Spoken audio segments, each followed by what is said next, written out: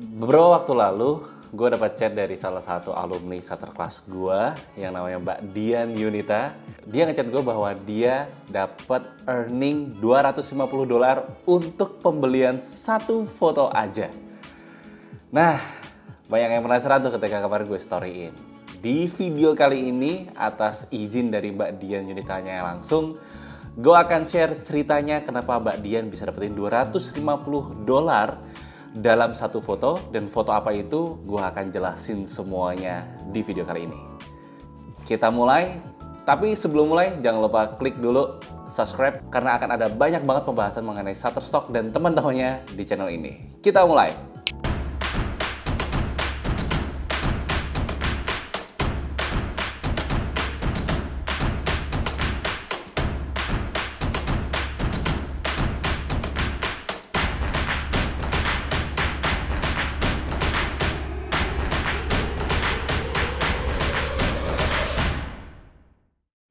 Halo, balik lagi ke channel gue. Buat yang belum kenal, nama gue adalah Reski Pradata. Gue merupakan seorang microstalker yang memiliki pengalaman lebih dari empat tahun di dunia micro, di bidang microstock dan saat ini sudah memiliki portofolio total 100.000 foto lebih, 5.000 footage di lebih dari 15 platform lah. Gue bermain di sekitar 15 platform. Nah, gue sengaja bikin channel ini karena gue ingin sharing mengenai ilmu-ilmu mengenai Shutterstock. Jadi jangan lupa klik subscribe lagi buat yang belum subscribe dan juga nyalain loncengnya dan like video ini kalau di akhir menurut kalian video ini bermanfaat. Dan jangan lupa share juga, oke? Okay? Nah, kita balik ke topik di awal gue udah uh, mention bahwa salah satu alumni satu kelas gue dapat 250 dolar.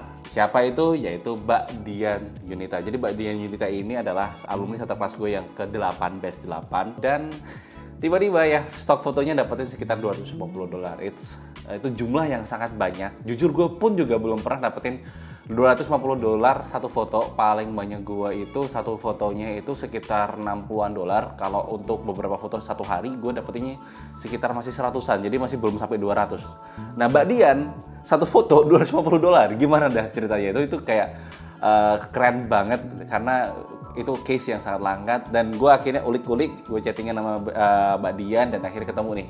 Alasannya kenapa bisa dapat 250 dolar Sebelum mulai kita akan cek dulu portofolio yang Mbak Dian Junita. Gue udah siapin laptop di sini. Teman-teman pasti udah kelihatan di layar kaca.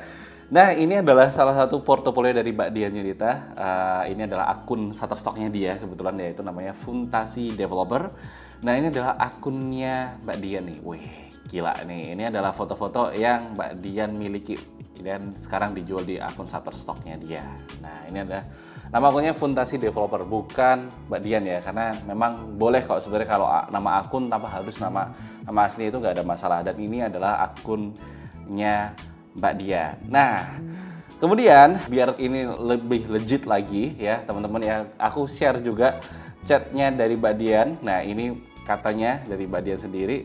Nah ini tanggal 26 um, April, tanggal 26 April kemarin Mbak Dian ngechat aku, Hai Mas Resi, I'm so happy. See, nah dia langsung ngeluarin ini nih, income-nya dia dalam bulan April tersebut dari tanggal uh, downloadin dari tanggal 4, 5, 6 sampai tanggal 25 dan yang kalian lihat di sini terlihat sangat jelas sekali yaitu tanggal 24 ini dia dapat sekitar 250 dolar. Jadi ini legit ini bukan bikin-bikinan ya atau angkanya diubah enggak. Ini legit dapat 250 dolar untuk satu foto aja. Kenapa sih bisa dapetin sekitar 250 dolar dalam satu foto? Nah usut punya usut ternyata Mbak Dian ini ikut kontes di Shutterstock.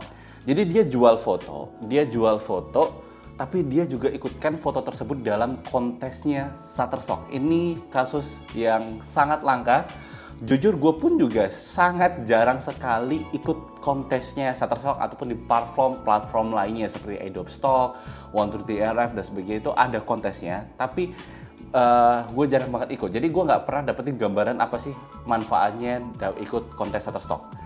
Oke, okay, dan ini adalah kasus pertama dari teman-teman. Ini kita akan belajar bareng-bareng kok bisa dapat 250 dolar dari kontes. Nah, sebenarnya teman-teman uh, kita harus pahami dulu setiap platform Microsoft itu sebenarnya tiap beberapa periode itu ada kontesnya sendiri-sendiri. Jadi kayak Shutterstock adain, waktu TRF adain, dan masih banyak lagi. Nah, teman-teman kalau mendapatkan mau dapetin income yang lebih besar dan cuan yang lebih gede, ikutlah kontes. Tapi kontes ini juga kebetulan kalau menurut gue itu juga nggak nggak melulu bisa bisa apa namanya bisa lolos ataupun bisa menang. Tapi kalau sekali menang, dapatnya uang segini nih, langsung banyak banget. Kontes apa sih yang diikuti oleh Mbak Dian? Kenapa bisa dapat 250 dolar? Nah, kemarin itu kalau nggak di bulan Februari atau Maret, Shutterstock memiliki challenge yang namanya Unique Solve Contest. Nah, kontesnya isinya seperti apa? Gue lihatin di layar kaca juga buat teman-teman biar belajar bareng-bareng ya. Kita belajar bareng-bareng mengenai uh, isi dari kontesnya tersebut. Oke teman-teman, ini udah kelihatan brief dari kontes yang diikuti Mbak Dian kemarin yaitu Unique Solve ya. Ini kita simak bareng-bareng, kita lihat bareng-bareng, kita bedah bareng-bareng ya.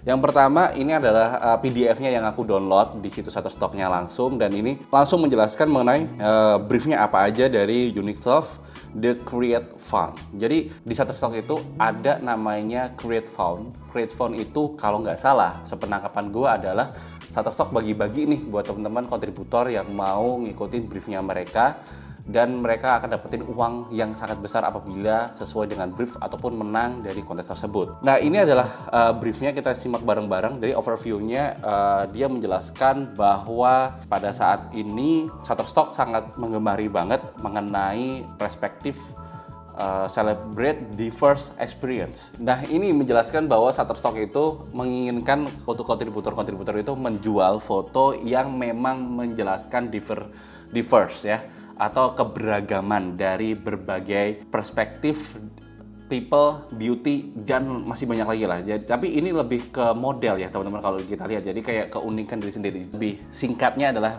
just be yourself. Nah ini uh, dapatkan sekitar change untuk memenangkan 250 dolar. Nah ini lihat ini kata-kata ini.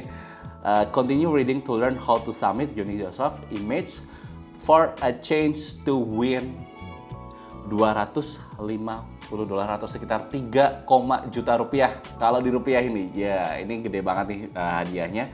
Oke, kita lanjut lagi. Nah, apa sih yang sebenarnya ingin diinginkan oleh Shutter, uh, Shutterstock untuk dijual itu? Ya bisa community, ada family, finance, gaming dan sebagainya. Ini kategori-kategorinya ya, teman-teman ya. Nah, ini bisa banget untuk uh, ikut dari beragam kategori tapi harus menonjolkan keunikan atau uh, perspektif yang berbeda dari fotonya ya. Uh, biar, eh, kalau ini gue sih lihat dari pemenangnya lebih kayak karakternya aja yang berbeda. Nah, uh, ini penjelasan yang lainnya. Tadi teman-teman bisa baca kalau pengen baca, nah, tinggal di pause aja videonya, tinggal di pause aja nanti teman-teman bisa baca. Terus uh, do and don'ts-nya juga teman-teman ya ini kelihatan uh, mereka sih lebih uh, inginkan bahwa uh, ini itu lebih documentary dan candid style. Jadi bukan yang dibikin-bikin atau di uh, apa namanya diubah uh, apa dibuat-buat gitu. Jadi lebih ke candid atau documentary. Nah, teman-teman uh, terus juga kelihatan juga uh, yang harus dihindari apa? Konten yang feels overly produced atau people posing especially stiff and in genuine poses. Jadi mereka tuh ingin yang benar-benar original, mereka mau yang benar-benar uh, jarang terekspos. Dan dia juga um, jangan pakai studio juga. Jadi pokoknya yang benar-benar original kalau teman-teman bawa kamera, foto jebret terus dijual. Kayak gitu aja briefnya, sangat sederhana banget.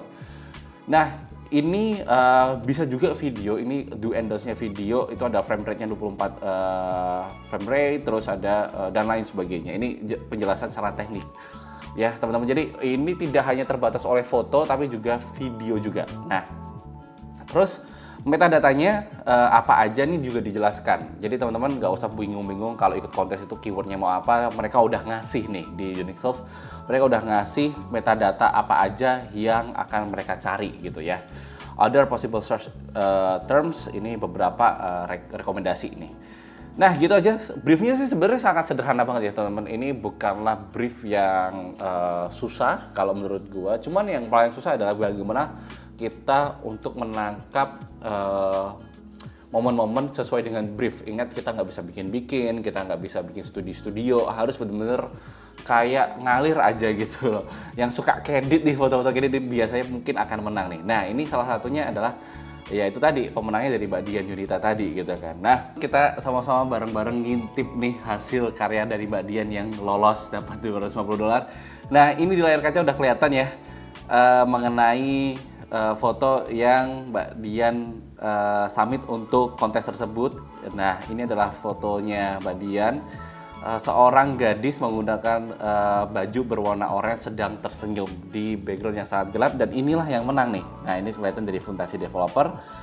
Nah ini foto yang menang dapat 250 dolar yang tadi dimaksudkan ya teman-teman. Kalau teman-teman nggak percaya ini dapat 250 dolar, gue siapin screenshotnya di sebelah kiri nih. Ini kelihatan banget ya.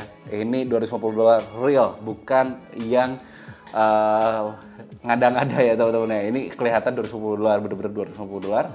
Nah ini adalah foto yang menang. Uh, Sebenarnya fotonya sangat sederhana banget. Fotonya sangat um, ya, sederhana kalau bisa dibilang. Tapi momennya dapat banget nih. Momennya itu uh, sangat uh, unique soft banget kalau menurut saya sesuai dengan brief yang tadi ya teman-teman ya. Jadi ini nggak di studio, nggak di uh, tempat yang apa namanya yang uh, memang disetting tapi ya ala kadarnya aja di, di foto sesuai dengan brief menang. Dapat uang nih. Nah ini foto yang salah satu menang. Tapi biar lengkap lagi kita akan ngintip foto-foto yang lain ya. Biar uh, kita dapat perspektif yang lain seperti apa sih yang menang dari kontes ini yang sama-sama dapetin 250 dolar. Dah selanjutnya kita dapetin dari ini juga nih. Uh, dari uh, kontributor Dajan Red, uh, uh, Rodriguez. Nah ini A Young Black Mother Together with New Blonde on the Bed. Nah ini adalah satu yang menang juga nih. Nah ini ini lebih sering dibeli ya dibandingkan fotonya Mbak Dian. Mungkin ini foto yang baru di summit ketika Unisoft ini, jadi nggak ada uh, history terjualnya mungkin sehingga tidak ada dan tidak pernah digunakan, tapi bisa menang. Hmm. Gue jadi kepikiran ya, kita tuh nggak perlu dibeli pembeli, tapi kalau bisa menang konten dapat duit juga. Jadi ya kesempatan yang bagus buat teman-teman yang masih ngeluh karena belum laku-laku kalian bisa ikutin foto kalian di kontes atau ikut kontes saja. Oke, lanjut lagi ke yang ketiga ini adalah video yang menang juga teman-teman biar kita dapetin uh, satu perspektif baru. Ini adalah uh, Eyang yang lagi nggak tahu lagi ngapa mungkin lagi bikin kerajinan ya kali ya.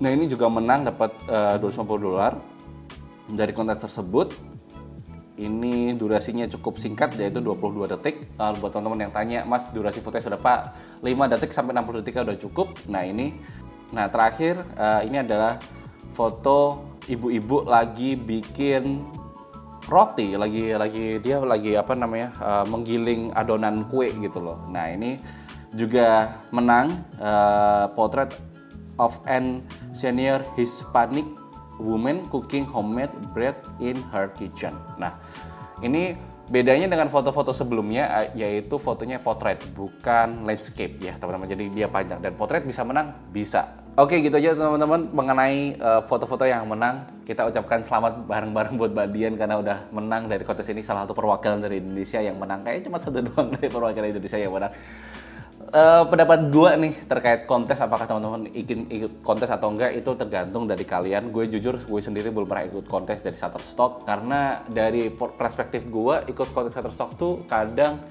um, apa ya uh, gue sih karena gue full, full time ya jadi kalau mau ikut kontes jarang menang. Atau mungkin uh, kalau suruh hunting hunting kayak gue gue bukan prioritasnya untuk hunting. Jadi ya gue jarang banget atau bukan jarang banget tidak pernah ikut kontes dari uh, Microsoft ini. Tapi gara-gara kasus ini kasus dari Mbak Dian ini yang dapetin 250 dolar gue jadi tertarik sih jujur untuk ikutin kontes-kontes sejenis kalau Shutterstock ada kontesnya lagi gitu kan. Um, karena apa ya ini kita bisa dapat perspektif lain bahwa foto yang se sebenarnya belum laku dari pembeli atau dari klien-kliennya Shutterstock bisa aja di mata Shutterstock itu dihargai mahal gitu kan dari foto Mbak Dian kita belajar bahwa uh, ya nggak laku di pembeli nggak apa nggak masalah. Tapi ketika itu bisa menang di kontes ya uh, eh, dapat jackpot yang besar kok gitu kan. Karena buat teman-teman mungkin masih berpikir juga kok ada sih satu foto yang bisa dapetin uang lebih banyak dibandingkan uh, foto yang biasanya kita don, uh, dibeli yaitu dapat 0,1 jawabannya sederhana. Um, buat teman-teman yang masih bingung pembeli itu kan beli paket yang beragam ya. Ada paket yang enhance, ada lisensi yang standar, ada lisensi yang enhance, ada pembelian yang enterprise, ada yang pembelian individual, ada pembelian yang on demand ataupun yang yang biasa aja. Itu ada banyak banget sehingga itulah yang menentukan harga atau menentukan royalti berapa yang kita akan dapatkan. Nah itu kan kalau kita ngikutin dari skema pembelian klien atau dari klien-kliennya Shutterstock. Tapi beda kalau kita ikut kontes, foto kita akan diadukan dengan foto-foto yang ikut kontes kemarin. Gue sih ikut kontes ini juga, tapi kan foto-foto yang gue submit di portfolio gue itu adalah foto-foto yang sangat studio banget, yang sangat dibuat-buat banget. Jadi ya nggak ada nggak ada apa namanya nggak ada memang nggak ada unik-uniknya, tidak sesuai brief sama sekali. Sehingga gue nggak heran juga kalau gue nggak menang gitu loh buat gue uh, rekomendasi apa enggak ikut kontes gue sangat merekomendasikan sih jujur uh, untuk ikut kontes ini. Karena ini juga bisa jadi uh, sumber pendapatan income lain. Cuman yang perlu teman-teman ketahui ketika ikut kontes jangan anggap bahwa kontes ini akan menang gitu kan. Kita nggak akan bisa kontrol itu gitu kan. Karena ya itu keputusan dari juri gitu kan. Tapi bayangkan aja kalau ikut kontes sambil ikut nyetok gitu kan. Jadi teman-teman kalau nggak menang kontes pun juga bisa laku gitu kan. Jadi ya ya nggak ada salahnya kan. Kita nggak akan merasa rugi sama sekali kalau ikut kontes. Jadi ya udah ikut kontes aja. Kalau ada memang ada briefnya kalau nggak ada ya tetap nyetok aja gitu. Oke gimana sih cara nyari kontesnya? Um, di Shutterstock sendiri teman-teman akan lihat di pojok kalau di dashboard itu ya di dashboard uh, kontributor itu ada di pojok kiri itu biasanya ada informasi-informasi mengenai uh, yang akan uh, Shutterstock rekomendasikan untuk uh, para kontributor gitu kan. Jadi ya itu teman-teman bisa colek dari situ juga gitu kan. Terakhir teman-teman sebelum aku tutup ternyata fotonya Mbak Dian ini juga muncul di dashboard pertama Shutterstock. Bayangin aja dia kita kita buka dashboardnya Shutterstock kontributor, cret langsung fotonya Mbak Dian yang keluar. Gila satu layar penuh isinya fotonya Mbak Dian ini di sini nih. Jadi uh, sangat uh, apa ya sangat keren banget sih gue bilang bahwa wah ini foto bisa langsung terpajang di Shutterstock Contributor. Semua Shutterstock Contributor seluruh dunia nih lihat fotonya Mbak Dian. Nggak heran kalau dihargai langsung 250 dolar. Ah ya bikin ngiri sih. Tapi juga bisa bikin uh, kita jadi termotivasi untuk ngikut kontes seperti Mbak Dian lakukan gitu ya. Oke gitu aja teman-teman terkait video kali ini. Semoga video kali ini bisa mencerahkan bisa membawa uh, apa namanya bisa membawa motivasi baru ya buat teman-teman untuk makin rajin nyetok dan apa namanya ikut kontes-kontes di situs-situs Microsoft gak cuma di Shutterstock tapi di situs-situs yang lain juga. Buat yang suka video kali ini, pokoknya jangan lupa di like, uh, jangan lupa di subscribe dan juga di share juga buat teman-teman biar kontributor yang lain juga kebagian ilmunya. Terus uh, buat yang teman-teman yang pengen cari inspirasi-inspirasi lebih, gue ada gue sering bagiin ilmu-ilmunya atau gue sering bagiin uh, tips-tipsnya di Instagram gue di @reski11 atau di TikTok gue di reski11 juga. Kalian bisa lihat di samping sebelah sini nih. Nah, kalian follow juga Instagram gue karena banyak banget tips and triknya. Gitu aja, sampai jumpa di video selanjutnya. Goodbye.